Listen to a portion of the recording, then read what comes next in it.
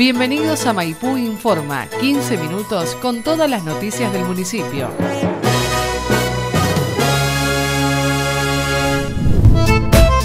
El jefe de la estación de ferrocarril, Guillermo Urgicardi, nos comenta acerca de la puesta en marcha del servicio de trenes y otros aspectos relacionados al ferrocarril. Estamos en, las pruebas que le denomina Trenes Argentinos, denomina el tren blanco, que son trenes vacíos, que es para poder comprobar el estado de las vías. De hecho, ha habido algunos pequeños eh, inconvenientes, pero ya estaban previstos y obviamente eh, fáciles de subsanar y como las vías son nuevas, eh, tienen, que, tienen que asentarse y es, la razón por la cual se están corriendo los trenes vacíos. Sí, correcto. Los fines de semana no han estado corriendo y ha habido, eh, en el inicio de cada una de las semanas, primero se pasa con una máquina exploradora y después el tren y se, están corriendo tres trenes diarios y ya en, esta semana se iban a hacer los cuatro servicios ya en horario que se, que se entiende se van a correr con los pasajeros. No, eh, todavía no está definido, eh, lo único que ha trascendido um, de, forma extraoficial es que va a haber eh, un tren que va a ser directo, Mar de Plata, Buenos Aires y viceversa, y otro tren que va a parar en todas las estaciones y ese va a estar saliendo aproximadamente a la una de la madrugada de Mar del Plata, el que para en todas, por acá cerca de las 3 para llegar a las 8 a Buenos Aires y saliendo a las 18 horas de Buenos Aires, por acá tipo 21.30, pero es un estimativo y oficialmente todavía no tenemos nada. Las formaciones corren con ocho coches y eh, eh, transporta alrededor de 800 personas y las formaciones son todas iguales y son todas nuevas, son las que nosotros denominamos la formación china que son las que se trajeron el año pasado acá al país. No, todavía no, en, ese sentido no, ha habido ningún tipo de información. Eh, sí estamos también recibiendo aportes de tecnología, ahora tenemos pantallas con GPS para seguir el, trayecto del tren, comunicación por IP, por internet y, bueno, también radios nuevas de, de handys y que, están, que van a ser un poco más seguros, si bien es seguro, van a, van a dar más seguridad todavía al paso del tren. Mm, lo que nosotros hemos, eh, hemos hecho un censo con todo el personal, se ha censado todo el personal de la línea, después se hicieron cursos de para reafirmar eh, la parte operativa, se, ha hecho, se han hecho evaluaciones, ahora tenemos entendido porque los gremios eh, han informado, vamos a tener que pasar también por una revisación psicofísica, y, pero hasta abril vamos a seguir trabajando en comisión en la empresa estatal del Estado provincial, si bien la parte operativa, la injerencia y la directiva van a venir de trenes argentinos.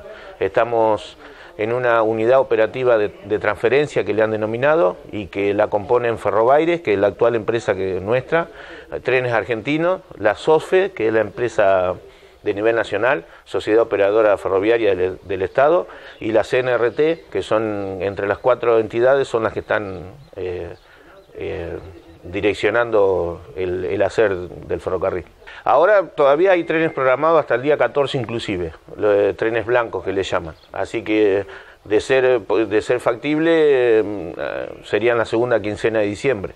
Primeramente se había hablado de los primeros días de diciembre para los trenes pasajeros, pero ahora ya tenemos noticias y oficialmente eh, han diagramado los trenes todavía de prueba hasta el 14 de diciembre inclusive. Así que eh, tenemos expectativa que sean la segunda quincena de diciembre recién los trenes con pasajeros la gente entiende que es un medio que realmente hace falta y los vecinos, pero así de manera personal, nos consultan a diario. Pero bueno, todavía no hay nada, no hay nada definido y obviamente todavía no está la venta anticipada, ni siquiera en Mar del Plata y en Buenos Aires habilitada, y nosotros tampoco. Estamos queriendo poner en, valor lo que, lo que está a nuestro alcance, y bueno, en esto déjame agradecer a, la persona de Matías Rapalini, que nos donó los pisos para la sala de espera, que personal nuestro eh, está cambiando el piso de la sala de espera. Y también eh, hay una iglesia evangélica que está ayudándonos, que ha venido a limpiar y ha, hecho, ha pintado algo y ha traído plantas y bueno, eh, así que entendemos el interés de la gente y por este medio agradezco la colaboración. Sí, sí, para Maipú es muy importante. Nosotros somos alrededor de 50 empleados entre la cuadrilla y personal de conducción y, el personal que, actúa acá en la, estación, así que es una fuente de trabajo importante. Y tenemos entendido con este movimiento que por lo menos, si bien no, no es lo que el ideal que uno persigue, porque son solamente dos formaciones, ida y vuelta, y en, en, principio va a tardar 7 horas 30 entre Mar del Plata y Buenos Aires, que es algo, nosotros lo hacíamos en 5 horas y media, pero por lo menos un horizonte, se está viendo un, futuro, un porvenir, y bueno, nos han indicado que a medida que se vayan ajustando las vías, el año que viene ya van a empezar a, lograr mejores velocidades y prevén seis servicios para la temporada venidera 2017-2018, así que nosotros esperanzados y contentos con este movimiento. Son todos trenes nuevos, eh, vienen con sistema de freno ABS, eh, todo el freno, toda la timonería y lo que es freno y eh, la parte rodante eh, es todo tecnología japonesa. Eh, los motores que trabajan con generadores son, son mecánicos alemanas. Y bueno, el sí chino es el, el resto, el resto del tren, y, pero es todo nuevo, todo cero kilómetros, viene todo climatizado, no se abren las ventanas, las puertas son hidráulicas, o sea, está todo cero kilómetros, al igual que las máquinas, en realidad es buena, buena tecnología. Agradecerte, por supuesto que siempre se preocupan y que siempre están al lado nuestro. Y bueno, muchísimas gracias. Volver a agradecer a las personas que han colaborado y a la persona de Matías Rapalín. Muchas gracias.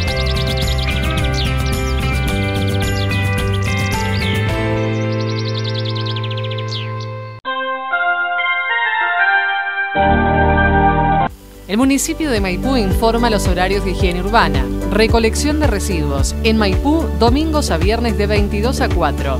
En Las Armas, martes por la tarde y viernes por la mañana. En Santo Domingo, lunes, miércoles y viernes por la mañana. Recolección de ramas y escombros en Maipú. Ramas, martes y jueves por la mañana. Escombros, miércoles y viernes por la mañana. Limpieza vía pública en Maipú, lunes a viernes de 7 a 13 horas. Ante cualquier duda, comuníquese con la Subsecretaría de Servicios Públicos al teléfono 422-101 en el horario de 7 a 13 horas. Viví Maipú en verde. Lleva a Maipú donde quiera que estés. Te invitamos a seguir las noticias las 24 horas en las redes sociales y en internet www.municipiodemaipú.com.ar Facebook Municipio de Maipú, Twitter Maipú Te Quiero. Noticias actualizadas todo el día, todos los días. Municipio de Maipú informa, el pago del impuesto automotor se podrá efectuar mediante la Link Pagos. Verifique el volante de pago del impuesto automotor entregado por el municipio de Maipú. Tome nota del número rodado que se encuentra en el margen superior derecho. Cada número de rodado tiene asignado un código de pago electrónico de cajeros de Red Link. En el listado de pago Link publicado en nuestro sitio web maipú.gba.gov.ar y en la página de Facebook Municipio de Maipú. Usted deberá constatar su número de rodado para obtener el código electrónico con el cual podrá efectuar el pago de la tasa en cualquier cajero de la red Link. Esta operatoria se realizará por única vez, ya que luego queda registrado en el sistema. Municipio de Maipú.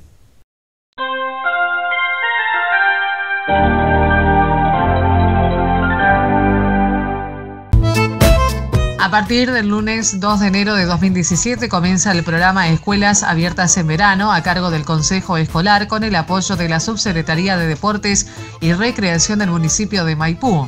En la siguiente nota, la presidenta del Consejo Escolar María Alza, la inspectora jefa distrital María Marta Vargas y la coordinadora de escuelas de verano Agustina Derdoy brindan algunas precisiones acerca del funcionamiento que tendrá la escuela.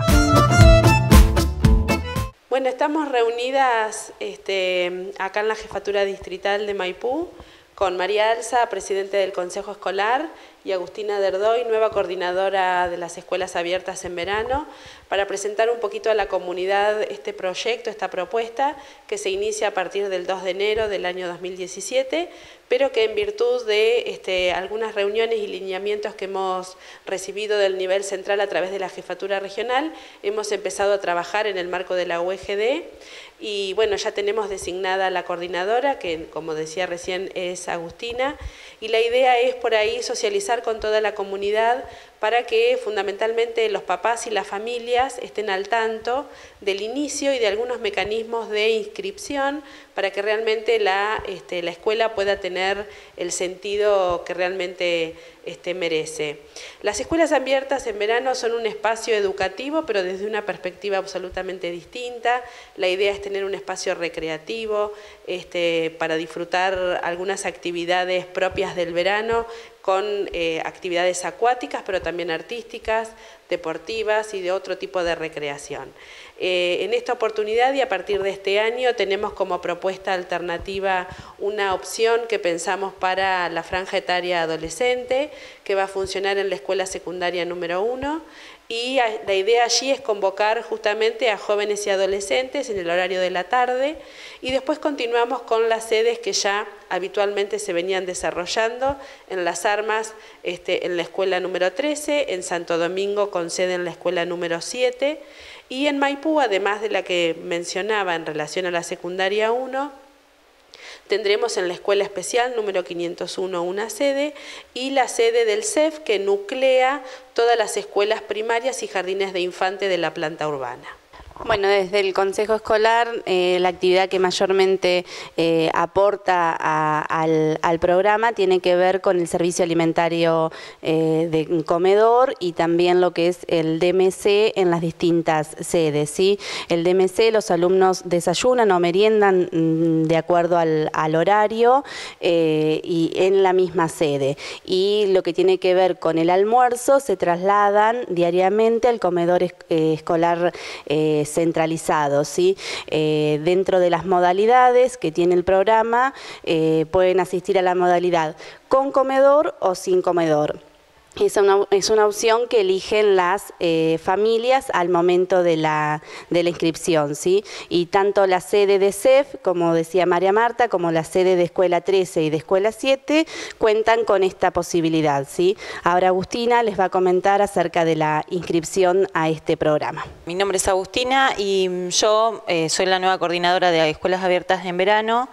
Eh, los invito a todos los papás a que inscriban a sus hijos. Eh, las planillas de inscripción están en la librería Emilce, a disposición de todos los que estén interesados. Eh, bueno, la idea es que aparte de la planilla de inscripción también está una autorización de uso de imagen, de salidas educativas, eh, para poder publicar fotos en el caso que tengamos que hacer alguna presentación, muestra y demás. Y bueno, la autorización de, representación o traslado es por si nos movemos de alguna sede a otra sede. Eh, bueno, y los invitamos a, inscribirse. Em, yo estoy a disposición en la jefatura distrital em, y bueno, y contamos con el apoyo de, María Marta y de María Alza. Eh, todavía las designaciones de docentes no está eh, em, dada porque se realiza la asamblea recién el día 26 de, diciembre por la Secretaría de Asuntos Docentes. También invitamos a los guardavidas que estén interesados en inscribirse porque, bueno, en las sedes podemos necesitar guardavidas que, que asistan en ese momento y mm, bueno, y contamos con los recursos de los docentes de las escuelas de base, bueno, en el nivel secundario, en el nivel primario, inicial y la modalidad especial.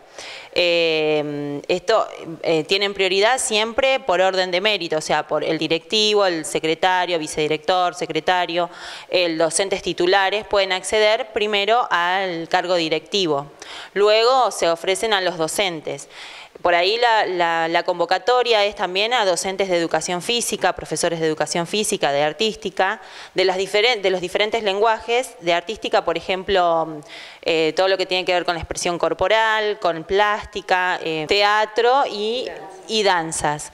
Eh, todos los, todas las propuestas que se, se, van a implementar en la Escuela Abierta de Verano están en función de actividades recreativas, con juegos de agua, con juegos con agua y también con el uso del predio de la pileta, en este, en este caso de la pileta del Atlético. Eh, bueno, el horario que vamos a tener en las sedes eh, son de 9 y media a 12.30 del mediodía y luego nos trasladaremos al comedor.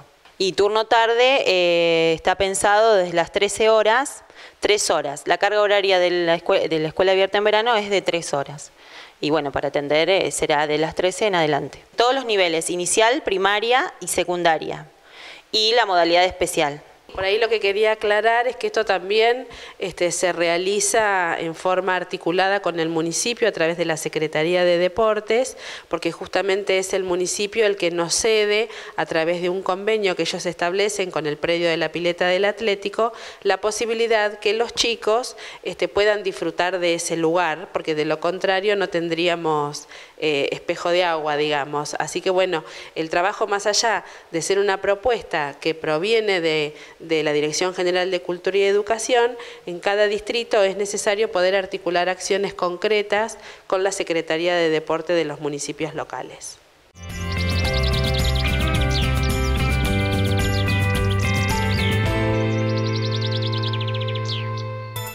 Hasta aquí compartimos Maipú Informa TV, el encuentro diario con más noticias del partido de Maipú. Muchas gracias por acompañarnos y hasta el próximo encuentro.